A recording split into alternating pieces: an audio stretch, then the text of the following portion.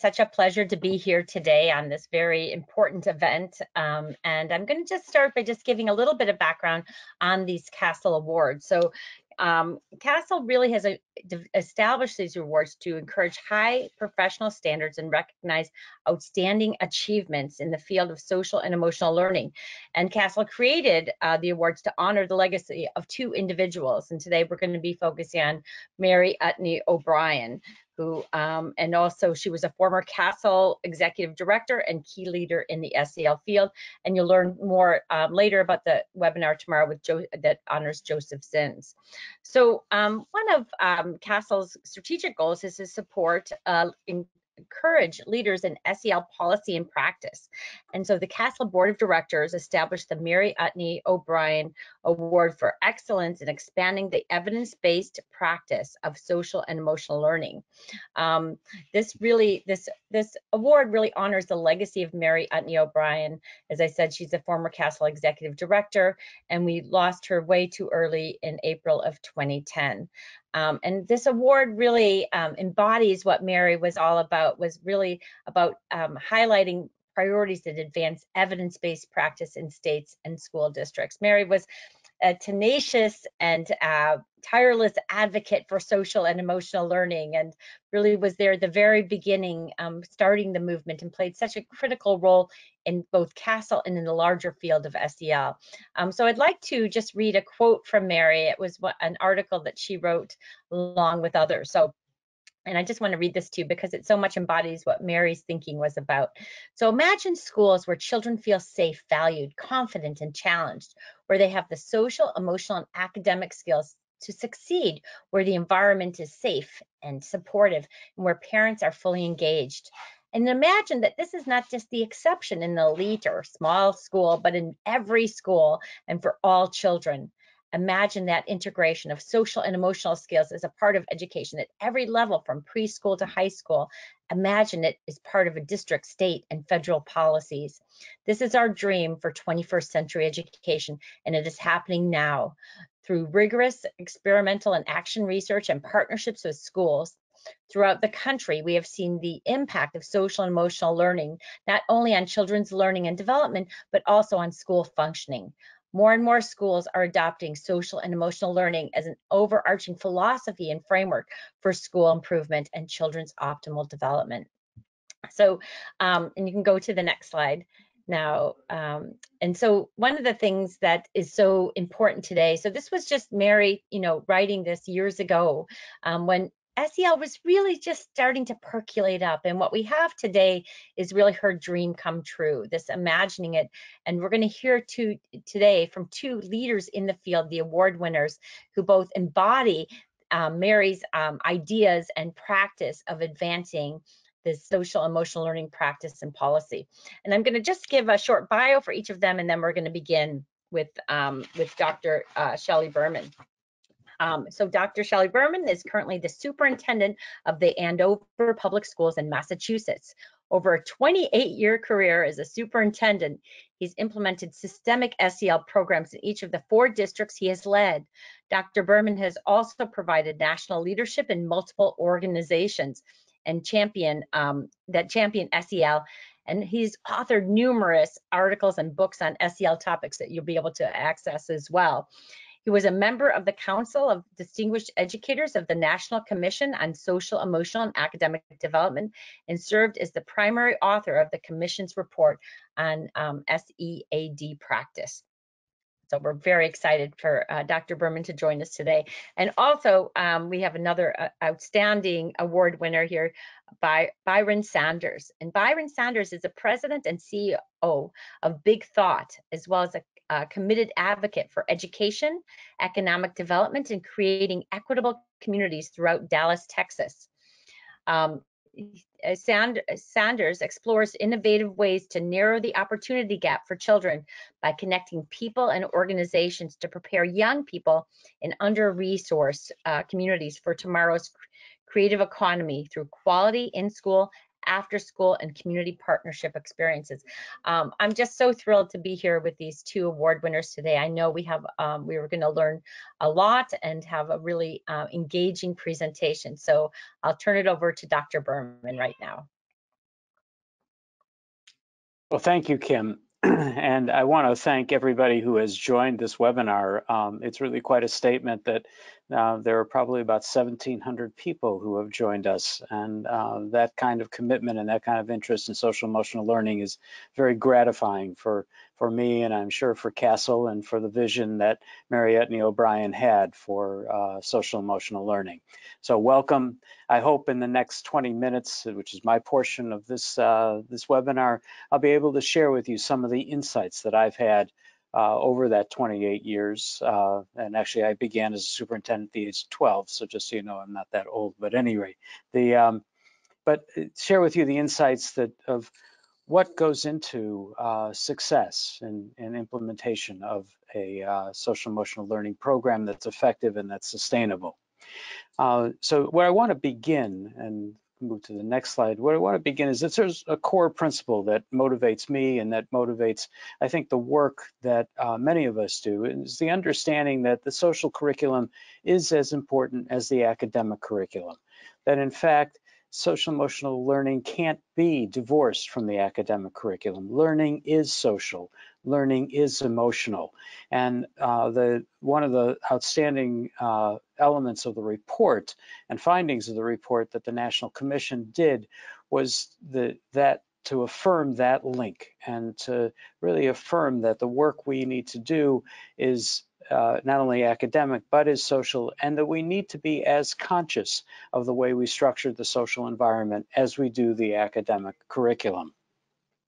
So how do we do that? And I, I want to um, move to the next slide and just talk about some of the the first step is actually setting the context. And for me as a superintendent and for other administrators, it is about looking at your mission, your vision, your strategic plan, and seeing how all of that embeds the uh, concepts of social emotional learning so that teachers and other administrators feel empowered to move forward and to do this work. Uh, in Andover's mission, as, it, as we've articulated the mission here, but also in the other three districts I've served as superintendent, we uh, embedded social emotional learning. In this mission, it says we will provide every student with opportunities and support too. And you can see some of the elements that are academic, but it ends with the, the, some of the most critical, which is to demonstrate cultural awareness and appreciation of self, empathy towards others, a sense of responsibility, and a commitment to civic engagement, which really encompasses the full range of social emotional development. We've also embedded this in our strategic plan. And uh, next slide the uh, and our theory of action.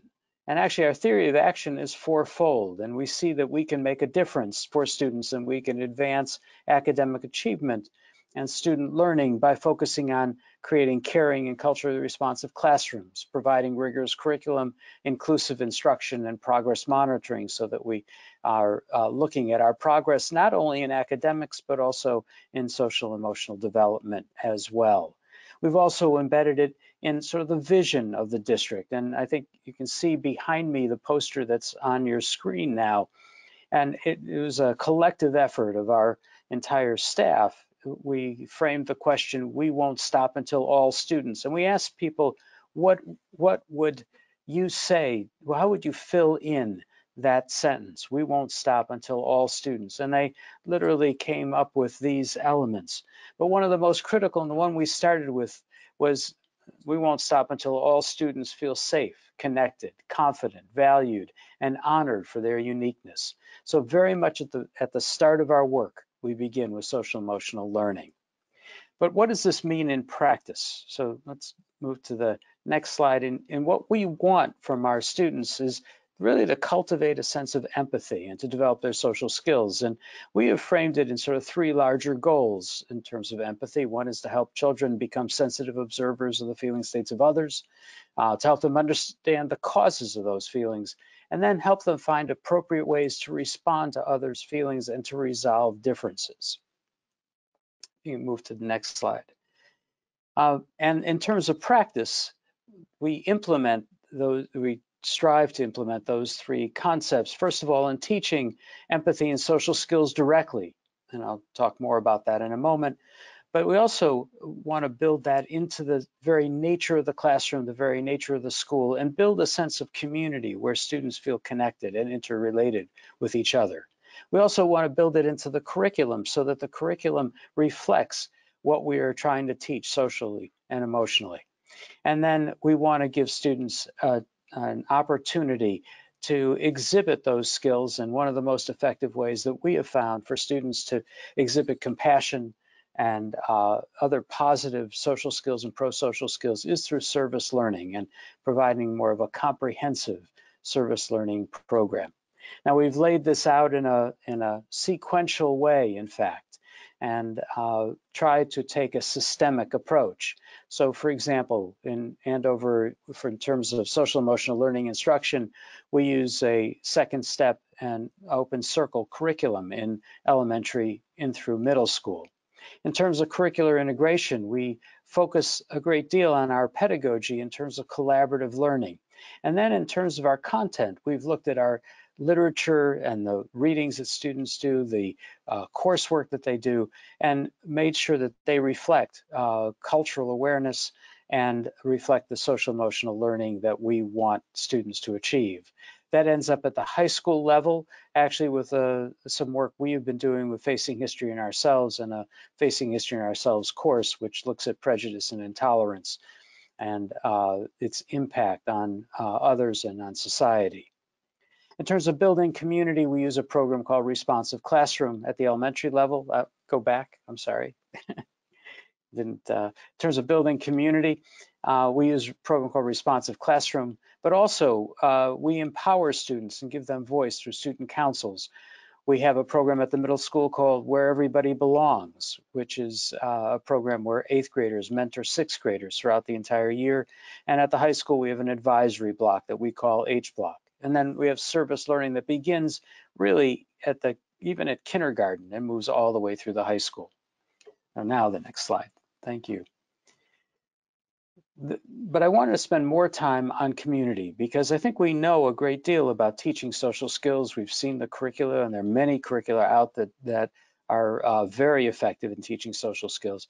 But we have to live those skills in the classroom. And what does that mean? Well, first of all, I define community as students' experience of being valued, influential contributors to a group that is dedicated to the learning and well-being of all its members.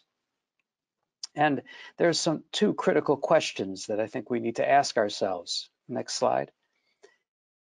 And one is, to what degree do I, as an individual student asking him or herself, what to what degree do I, as an individual, get to make my presence felt in helping things function here?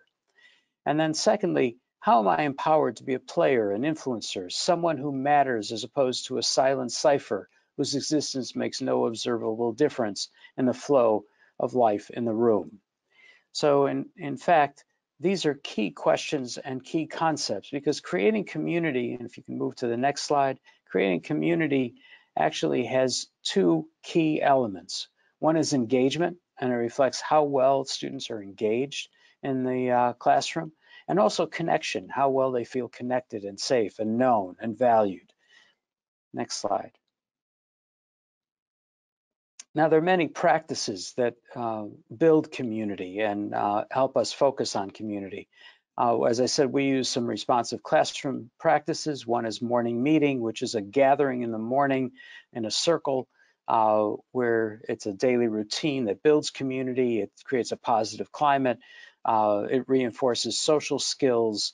Uh, there's a whole variety of strategies for morning meetings that are highly effective.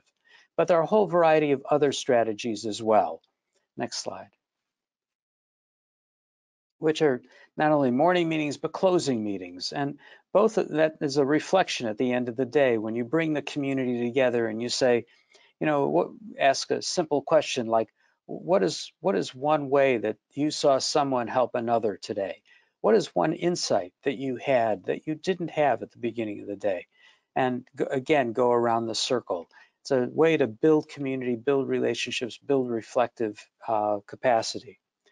Another is class meetings or open circle meetings, uh, which are really problem-solving meetings. While morning meetings and closing meetings really serve to build relationships and, and uh, build the connection Uh, class meetings and open circle meetings and advisory meetings, as a matter of fact, uh, serve to build that sense of engagement and voice. Uh, buddy programs are a wonderful way to build community where you have, uh, whether we have eighth graders uh, buddying with sixth graders, or we have fifth graders buddying with second graders, and a uh, variety of grades meet and do work together. Uh, there are home site activities, which comes out of a program called Caring School Communities, which are activities that can be done at home with parents that, and then children bring that information into school and share who they are. They share about their culture, they share about their background, but it engages parents not just in an ac academic way, but in a, a way that uh, brings their involvement in, in a way that's safe and uh, so that the family feels integrated into the classroom. Uh, there's school-wide community building activities as well as service learning activities. And then, frankly, one of the things that we have to think very carefully about is how we uh, pursue discipline. And uh, I've worked with strategies of developmental discipline, which is looking at what is developmentally appropriate, how do students learn from the, the issue or the mistake that they've made, uh, and restorative practices, which is really about how we restore relationships and make relationships whole. Next slide. There, I think it's also important to see that, that equity, community, and social emotional learning tie deeply together and that uh, we can't just see this as a way that we're teaching the social skills of the dominant culture, that we have to really enter the room, acknowledging all the cultures, all the backgrounds that are in present in the room and in our schools. So, you know, social emotional learning, the way we pursue that and the way we build community builds that sense of belonging to a caring and inclusive community, not an exclusive community. It's a, a community that looks to bring people together and have each other acknowledge uh, each other.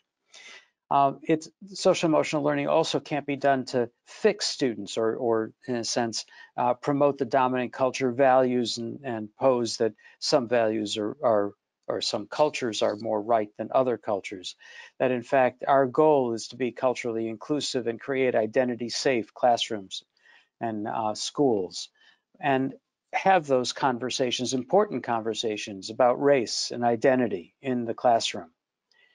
We also have to take an asset-based approach uh, that affirms students' strengths, their cultural identities, and their lived experience that they bring to the classroom, and find ways that we help students enter the classroom, feel good about where they they're from and their experiences, and that those experiences are valued.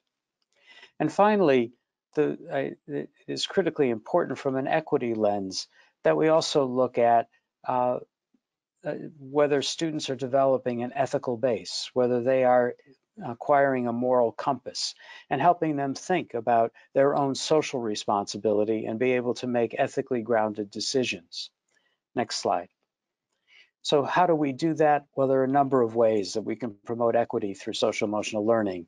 One is to adopt equity policies that uh, acknowledge the value that differences in student backgrounds play in promoting learning and development.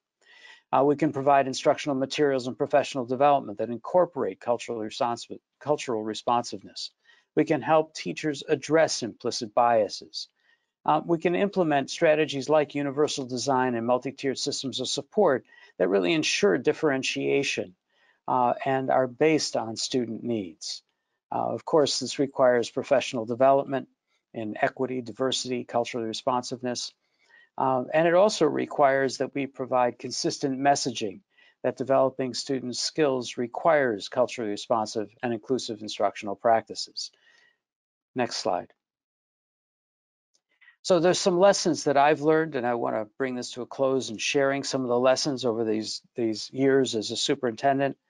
You know, first of all, that social emotional learning requires the consistent planning that is required of the academic curriculum there is actually no difference. We need to look at scope and sequence just the way we look at scope and, scope and sequence of the academic curriculum.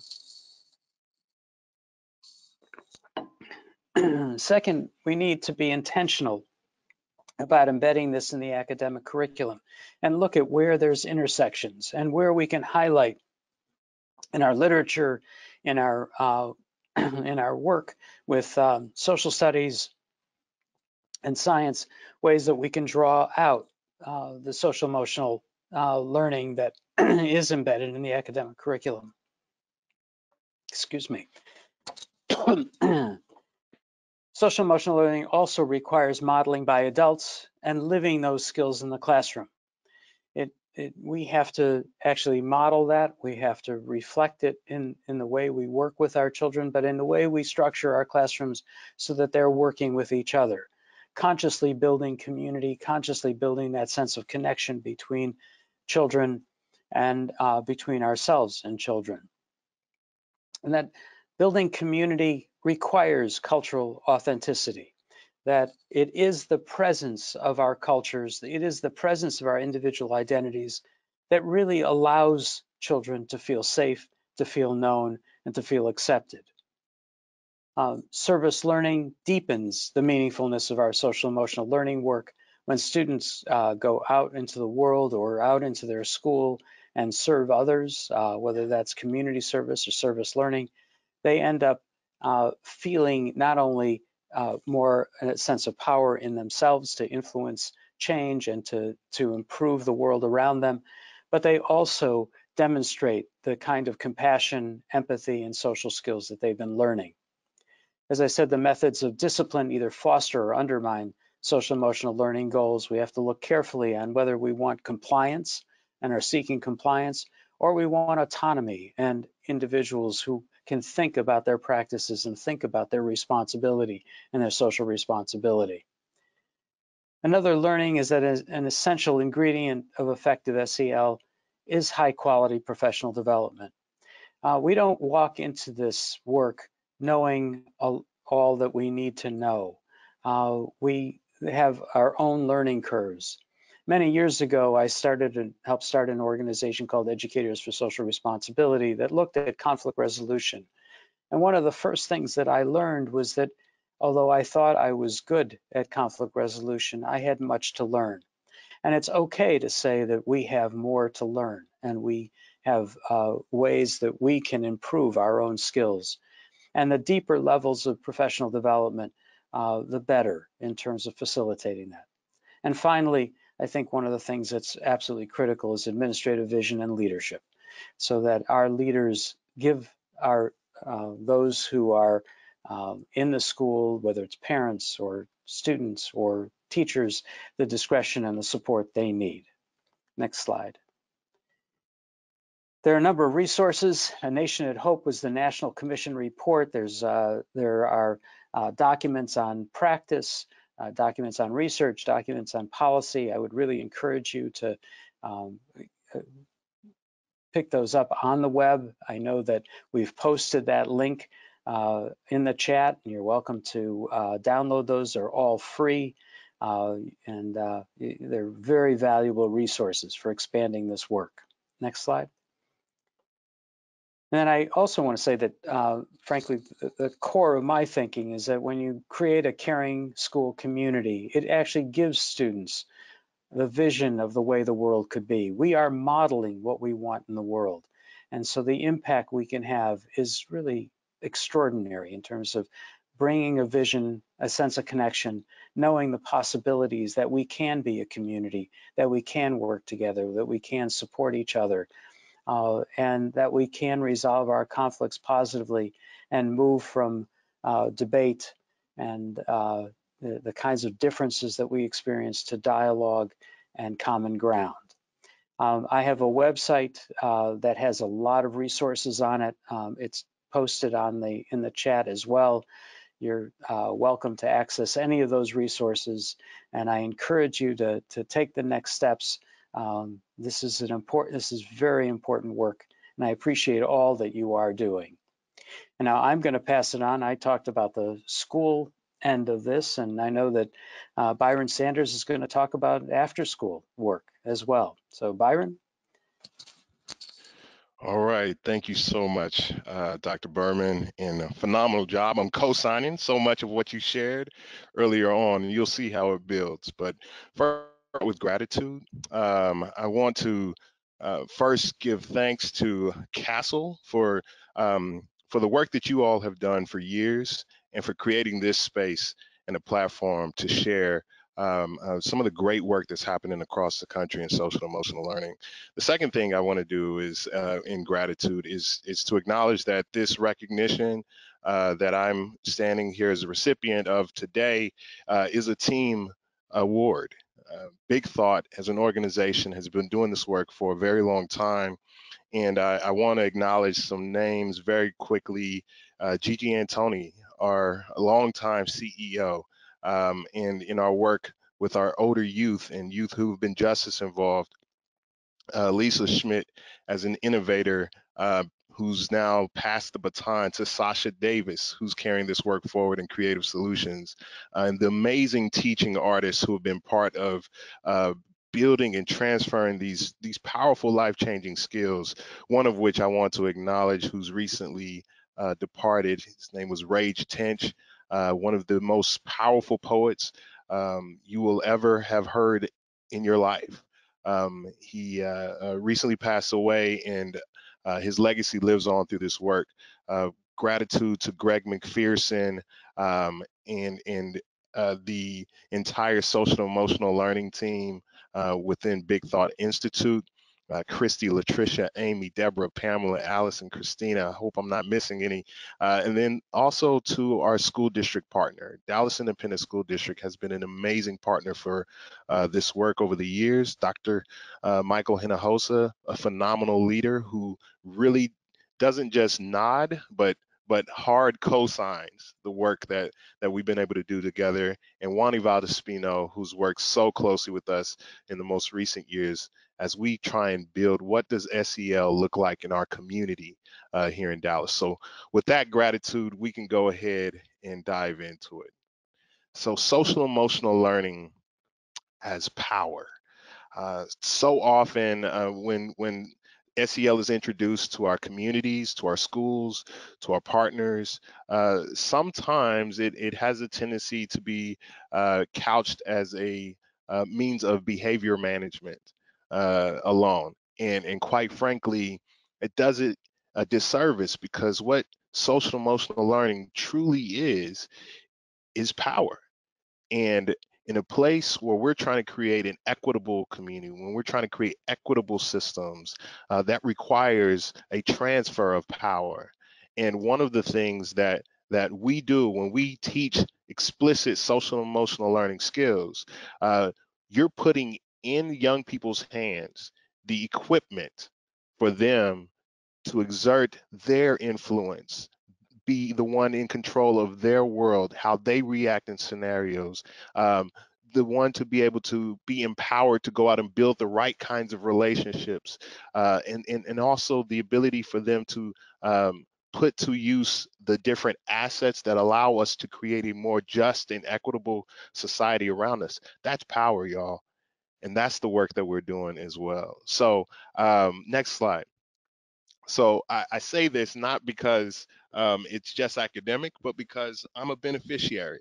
Uh, I am a, a child who I, I, grew up as a child who who benefited greatly from out of school time experiences, and as a young man who grew up in a household where there was domestic violence, where um, there was trauma uh, that I had to fight through. The place that I loved so much that was escape and that was a lifesaver was uh, non-traditional learning spaces out of school time. Whether it was um, a track or uh, odyssey of the mind or theater or or or anything else math olympiad i was going to these spaces because i got a place to breathe. I got a place to just be myself. I got a place to experience joy. And you know what would have made it even better is if in those moments there was a contiguous alignment between the um, school day and the after school with explicit social emotional learning practices. I got so much there, and thank God for my mother who uh, had the wherewithal and the foresight to know that these were going to be really important parts of my life. Um, but because I went to those spaces, it allowed me to plug in with mentors, people who would pour into me, and where I could steal uh, moments of joy that would allow me to thrive and to continue to persist. Uh, and we know that there are so many of our young people who who need that uh, for a lot of different reasons and in a lot of different ways. Uh, they need these spaces, and it is incumbent upon us to create the kinds of systems so that both during the day, just as Dr. Um, um, just as Shelley just shared with us, there, um, during the day, having explicit embedded social emotional learning, that should continue on into the hours after the traditional school day. And so, with that said, eh, that's why Big Thought is in this work. Next slide. And um, what we have been doing since we started in 1987 uh, is we have been trying to build the uh, the assets of young people. We've been trying to close the opportunity gap by leaning in um, and providing experiences that build the creative muscle, build social emotional well-being, and invested in and created space for youth voice and agency. And uh, we initially started that as a Dallas chapter uh, of an organization that was bringing the arts into the schools. But over the years, we grew and our scope and scale uh, grew. And so now today we're an organization that over the course of a academic year and a non-COVID year, our touch point is a total of about 150,000 youth between the programs that we operate ourselves and the organizations and partners that we support. 150,000 youth in the Dallas area, the North Texas area, and we're so grateful uh, to to be able to be a part of all of that.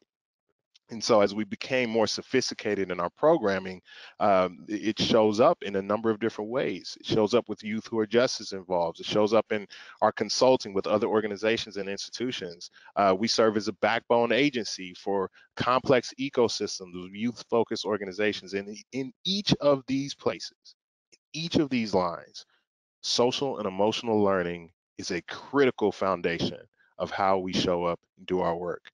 And so I wanted to talk about uh, a very special project that we're in the middle of right now that that uh, explicitly works toward the area that I was just mentioning uh, just a moment ago. So next slide. Um, first, before I, I, dive deeper into that, I want to articulate what we came to an articulation of. Um, about two years ago, when we did our strategic plan, we named our North Star. Uh, we want to create a world where all youth in marginalized communities are equipped to imagine and create their best lives and world. So for us, when we say marginalized communities, we're talking about race and economics. Um, we are here as an organization uh, on an anti-racist journey to close the opportunity gap between kids of color and their white uh, peers who are in middle income and upper income scenarios. Uh, and so when we have uh, that clarity of mind, we understand that social emotional learning is part of one of those things that will equip young people to go out and create that world uh, for them and the world around them. So next slide, and we'll go into a specific initiative that we've been able to be um, uh, fortunate to be involved in. 2017, Big Thought and our long-term partner, Dallas Independent School District, uh, which is one of the top 15 largest schools in the, in the school districts in the nation, we developed a proposal uh, to be part of a national grant uh, through the Wallace Foundation for a longitudinal study focused on developing and implementing uh, aligned social and emotional learning strategy, both for the school, in the school, and after school. So along with local partners, Dallas After School, Dallas Parks and Rec, Dallas became one of the six cities in this study um, funded by Wallace Foundation. Uh, it's called uh, PSELI. Uh, we pronounce the P in this one. Um, but uh, the whole idea is that uh, the Wallace Foundation is not only providing philanthropic support, but also, also expert consultation. And so um, in partnership with CASEL, uh, the Weikart Center, and more, we got to work. And from day one, we worked together establishing a leadership and multi-level feedback structures that aligned on the annual goals.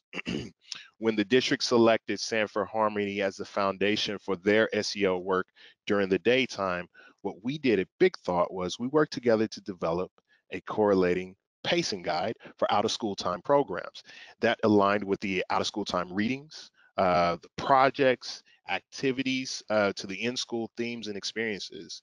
And so what we wanted to do was create this contiguous fluid experience so that youth who were participating in the traditional school day, once they got to after school, there wasn't a jarring um, uh, separation of the norms, culture, practices, and expectations that were being built over the course of the day. And y'all, it has been a beautiful, beautiful uh, experience. So we encourage cross training. Uh, with out of school time educators being trained and integrated into the house model, um, and in school educators being uh, trained in playworks. In and out of school educators also together participated in learning walks uh, to see implementation at other campuses, both during and after the school day. This whole notion was we wanted to to break that that uh, artificial wall that happens at three o'clock uh, for many of our young people. And the joy has been our youth have benefited significantly. I wish I could share with you all of the data that we're starting to see come out of it, but um, um, per the terms of the of the research, we will be able to share that once there's a um, um more comprehensive report that the RAND Corporation is sharing with us. But what I can tell you is that culture is benefiting. Uh, the youth are benefiting, um, and the the adults in the building are benefiting just as much as everyone involved. It is an entire all in family affair. And this work, I think, is indicative of the utopian uh, example that we're all trying to push toward, where uh, a young person has a 360 degree uh, network of support that helps reinforce the social emotional skills and um, um, and asset results that come from um, being able to be explicit about embedding these in experiences. Um, we again are so grateful for that amazing partnership with Dallas Independent School District, and it would not be possible without them. Let's go ahead and go to the next slide. So as we kind of broaden the net on talking about why social and emotional learning is so important and how it shows up in our work, um, we also know that that it's it's social emotional learning has to move beyond the choir. So it can't just be the school district that embeds social emotional learning in their practices. We also see SEL as a power, uh, uh, a powerful tool in uplifting community. So one of the things that that big partner with nonprofit organizations um, and and other entities to go out and do work in community. Um, anywhere from the Dallas Public Library to the uh, mom and pop uh, community rec centers here in the city. Uh, Big Thought over the years has partnered with, um, and actually our current set of partnerships is over 700 organizations that include corporations, sites, churches, like I said, libraries, rec centers, uh, roaming, traveling, uh, teaching artists.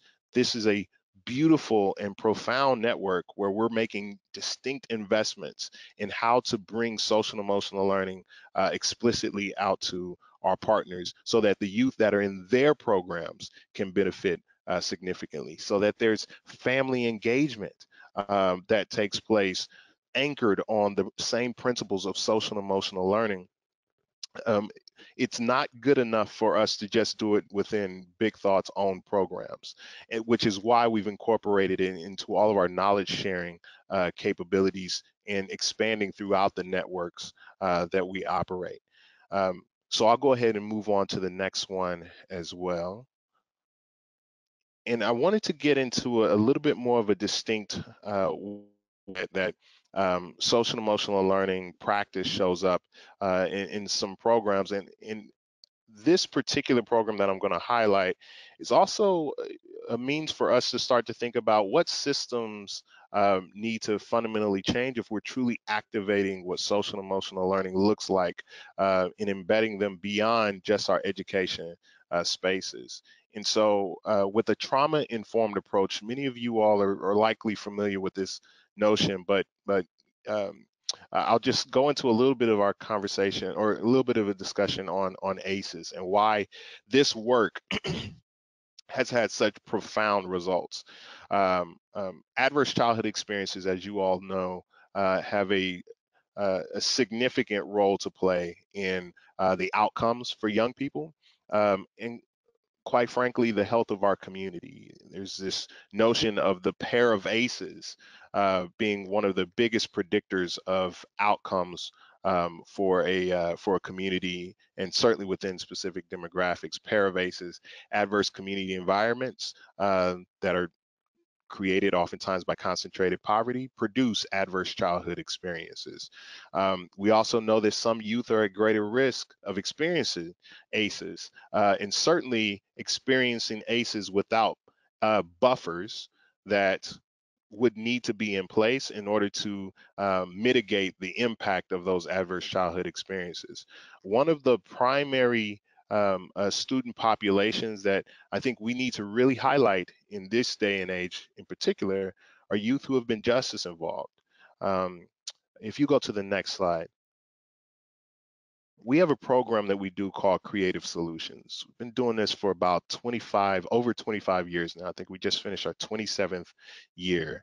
Uh, it's been in partnership with the Dallas County Juvenile Services uh, Department. And what we have learned is that uh, if you embed a, um, a trauma-informed approach on top of, in our instance, an arts as workforce model. So the youth who come to us are working artists over the course of the summer. You can have some tremendous results in a young person's life. Now, the work, the young people that we're dealing with are on probation, and the uh, sad truth of the matter is that on average, uh, these young people come to us with about 14 distinct traumas that have happened over the course of their lives.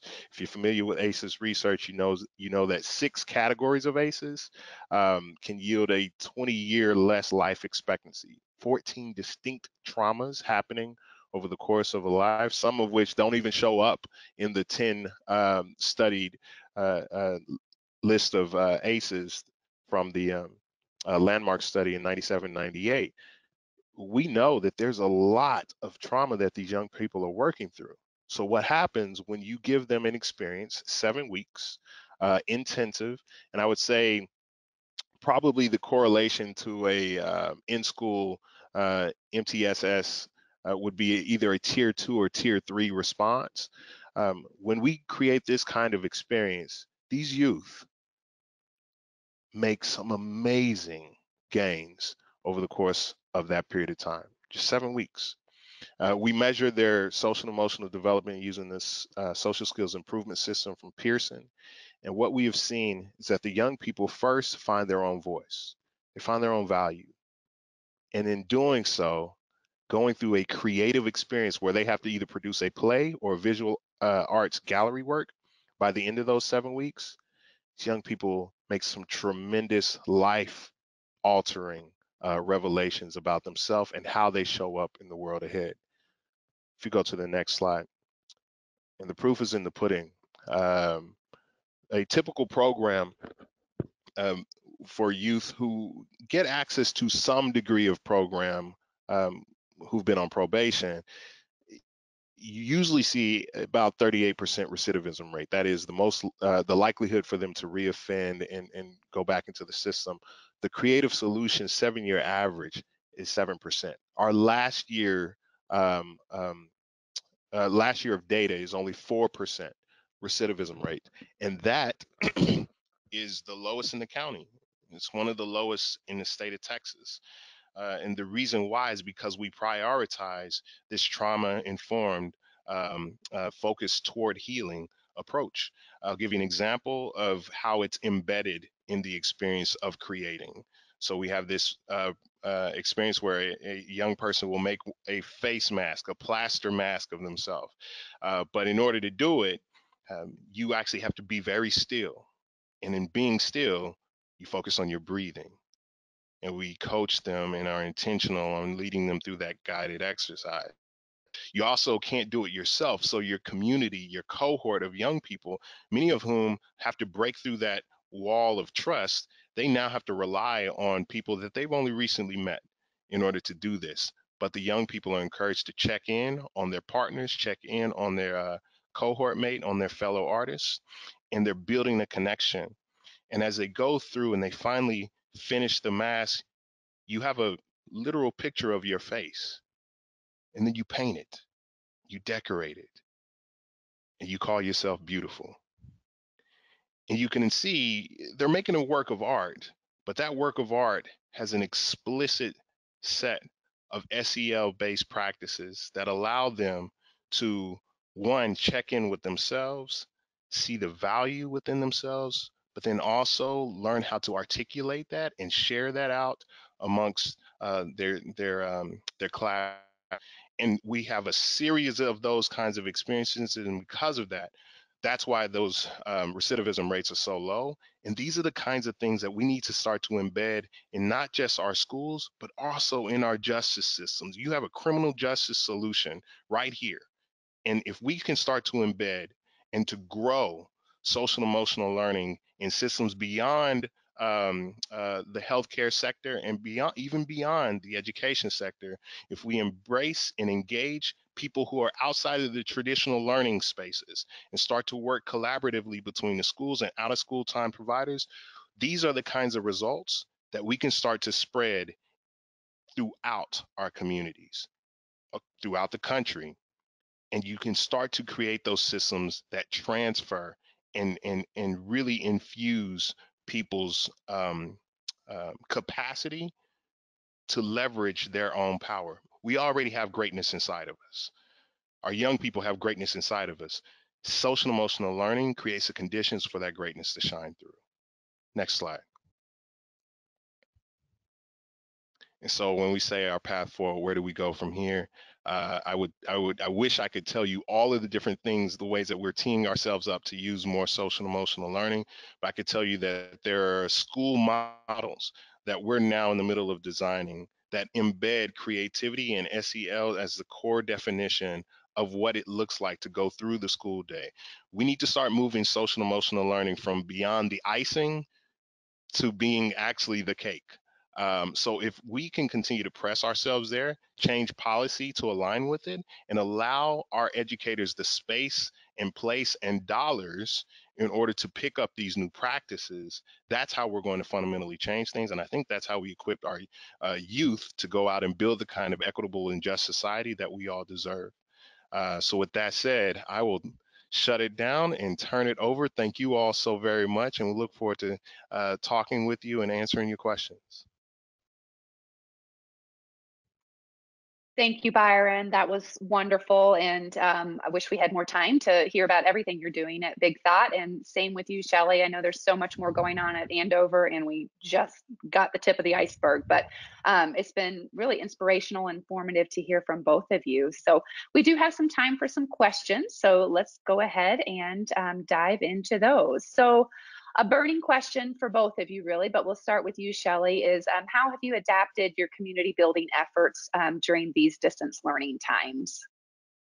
That's a really great question. Um, you know, we we continue to do some of the same things that we do in the classroom. So, for example, yeah, I, I have to say we are fortunate. This is um, we are we have distributed uh, Chromebooks to all our students. We have uh, uh, we're completely online uh, for those who need it.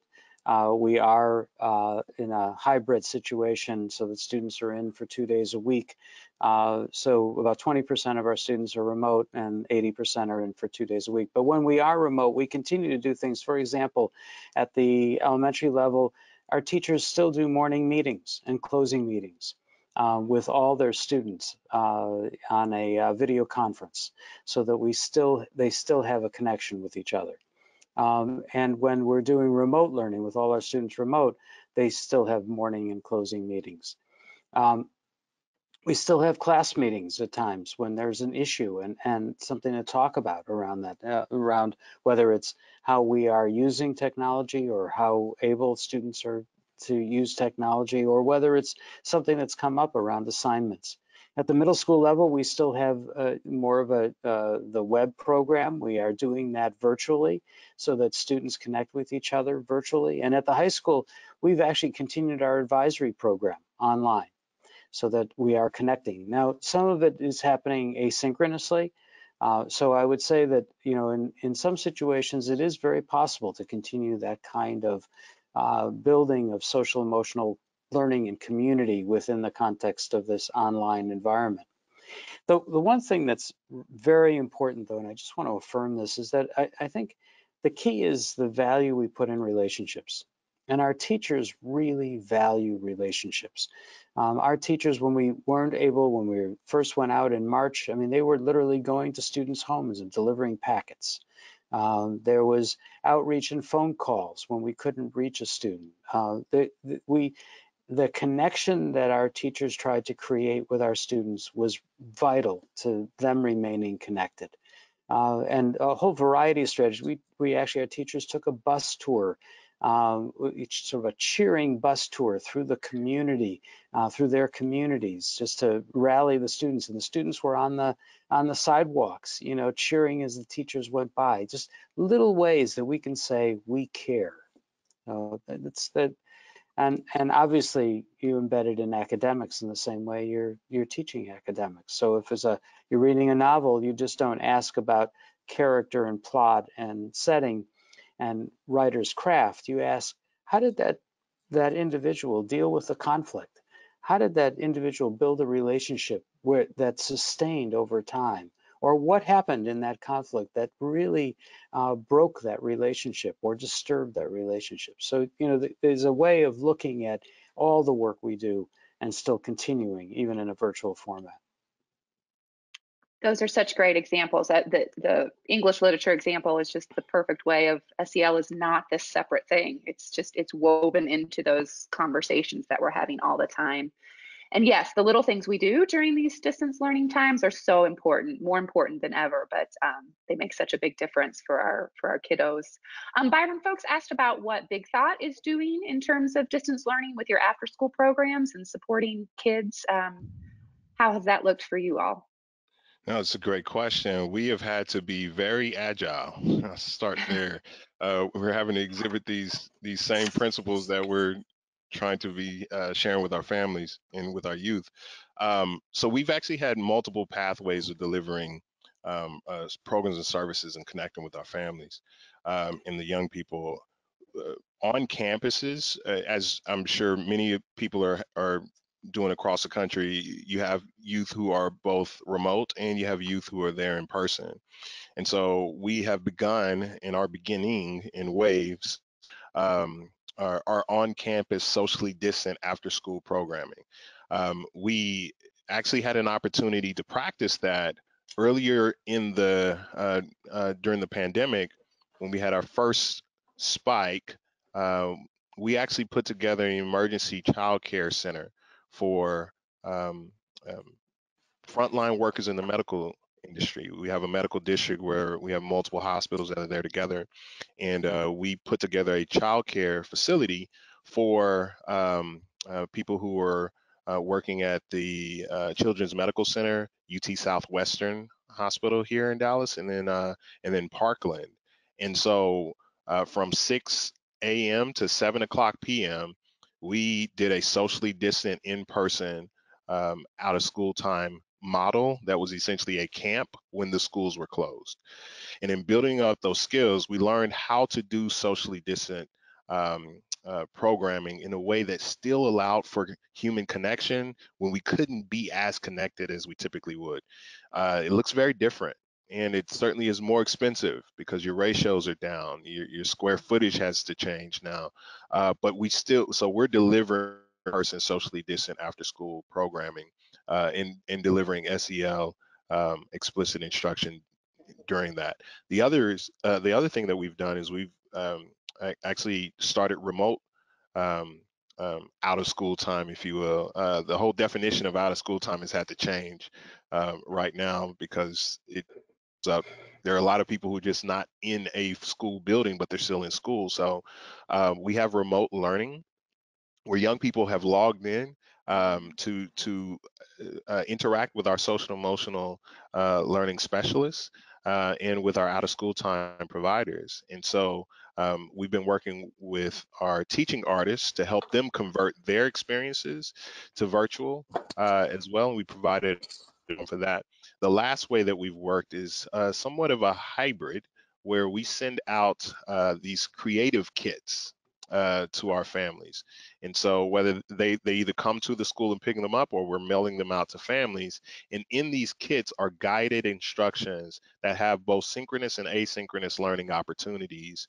Um, um, and some of them actually facilitate interaction between family and the youth themselves. But SEL is a critical component uh, even in the design of those kits. So those are the three different ways that we primarily uh, been been reaching out with digital content real-time content, and then the in-between. Thank you for sharing all that. And as you said at the beginning, I think we've all um, had many opportunities to put our SEL skills of resilience, in particular, in adaptability into play um, over the past several months. And certainly, it sounds like um, Big Thought has done great work to continue to serve the community and, and help everybody through these challenging times. Um, a quick question for you, Byron. Folks were just wondering if Big Thought works outside of the Dallas area. What's what is the footprint there?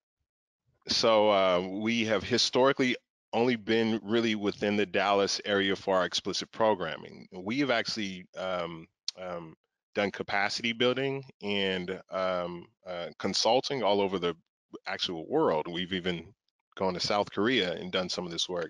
Uh, but we're also now starting to uh, uh, expand our, our horizons on where our, our our actual programming shows up. So for the first time, we've brought creative solutions to a new county uh, this past summer. Uh, we're looking at others as well, and um, and we're we're open to expansion in the ways that make sense uh, for our strategy. Uh, we also have a division of our work called Big Thought Institute, and Big Thought Institute is essentially our consulting arm, and we're doing a number of projects all over the country uh, with both public and private uh, partners and clients too. Before we finish, I just want to also extend a thanks. I think Byron did this as well, but maybe speaking for both of us, thanks to CASEL for your leadership and CASEL's leadership in making all of this happen. It's very humbling to get this award, but to know that it's it's in the spirit of many people who've done this, and to thank all the people who've joined us and to encourage them to take up the banner and take up the baton and, and keep it going. Yeah, thank you for that, Shelly. Amen.